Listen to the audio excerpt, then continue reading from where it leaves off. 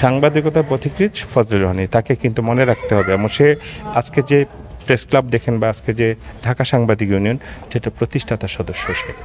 বিটিভিতে তখন একটা প্রোগ্রাম প্রচারিত হতো, যদি কিছু মনে না করেন ফজলে লোহানির তো আজকে এই বিষয়টা নিয়ে একটু কথা বলব। আমাদের সাথে আছেন বিশিষ্ট সাংস্কৃতিক ব্যক্তিত্ব আলিয়াস শাহ আকন্দ।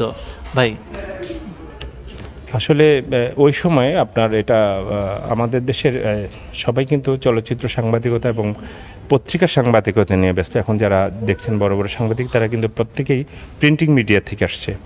ওই সময় বাংলাদেশ টেলিভিশন এবং বাংলাদেশ বেতারে এই প্রথম যে মানে নিরীক্ষাধর্মী অথবা আপনার যেটাকে বলেন সংবাদ ভিত্তিক বিনোদনমূলক অনুষ্ঠান ছিল, সেটা ছিল যদি কিছু মনে না করেন। সেই অনুষ্ঠানটি আমাদের প্রখ্যাত সাংবাদিক ফজলুল রহমান সাহেব করতেন। এবং সেই অনুষ্ঠানে কিন্তু এত বেশি পরিচিত ছিল, তখন তো টেলিভিশনও ছিল খুব কম বাংলাদেশে ব্ল্যাক অ্যান্ড হোয়াইটের যুগ কালার টেলিভিশন তো পরে আসছে।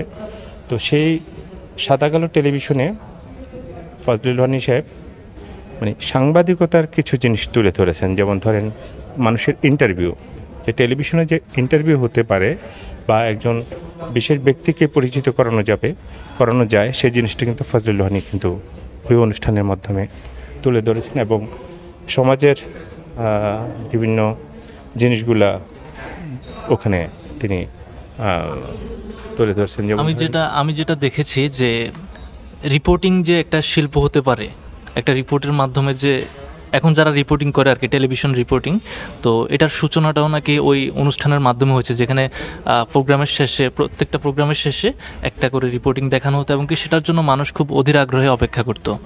হ্যাঁ আমরা তো তখন কিশোর, কিন্তু সেই সময় আমরা নিজেরাই বসে থাকতাম টেলিভিশন সেটের সামনে যে কখন যদি কিছু না মনে করেন মানে প্রচারিত হবে।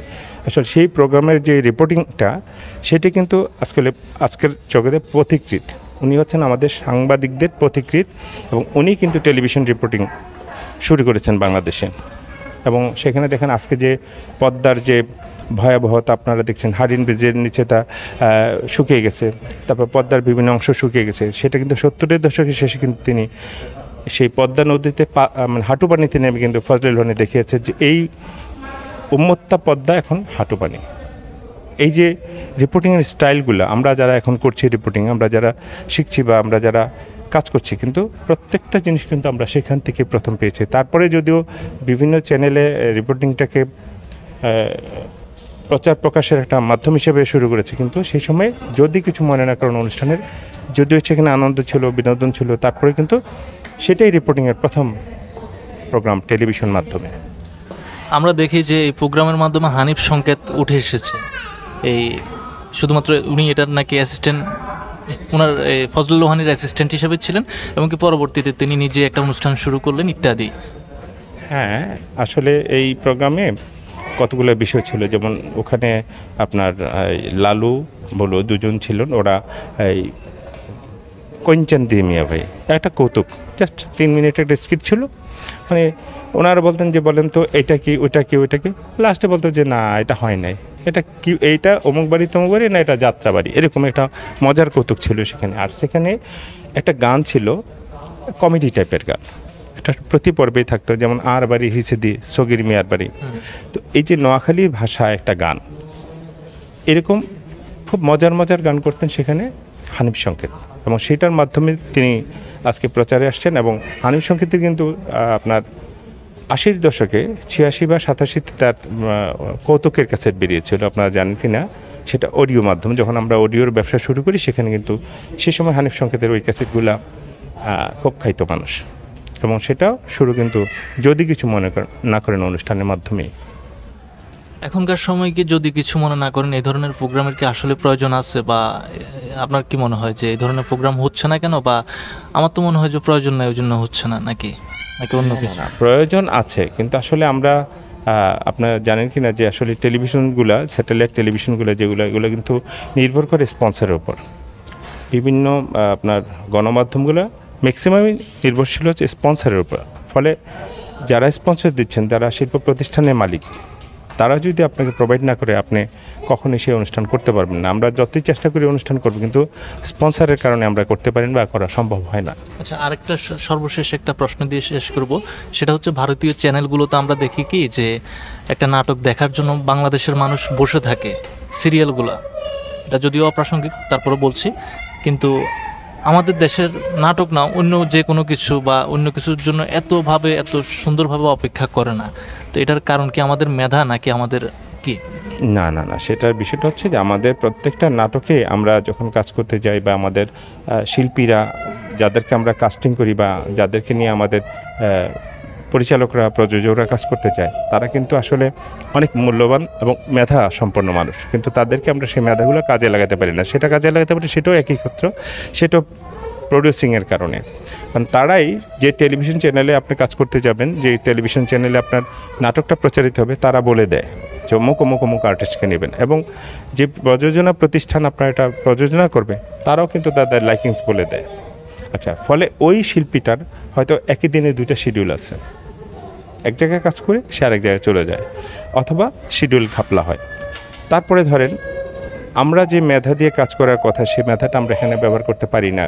আমাদের প্রযোজক, পরিচালকরা সেটা পারে না। এই কারণে যে আসলে ইন্ডিয়ার যে চ্যানেলে নাটকগুলো হয়, তারা কিন্তু সব কিছু তুলে ধরে।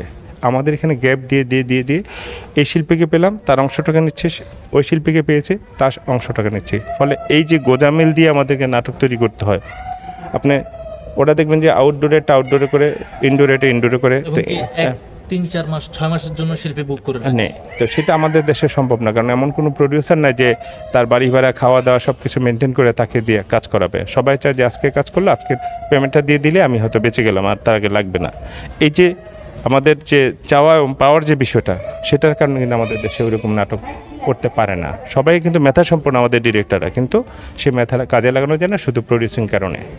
তার মানে ফজলে লোহানি বা এই জাতীয় মানুষের মতো মানুষ এখনও আছে ওইরকম মেধাবী মানুষ এখনও আছে, কিন্তু আমাদের সমাজ, আমাদের কৃষ্টি কালচার বা আমাদের অর্থনৈতিক যে দুর্দশা, এর জন্য হয়তো এটা ফুটে উঠতে পারতেছে না। তো ফজলে লোহানি সম্পর্কে আপনার সর্বশেষ কোনো মন্তব্য আছে?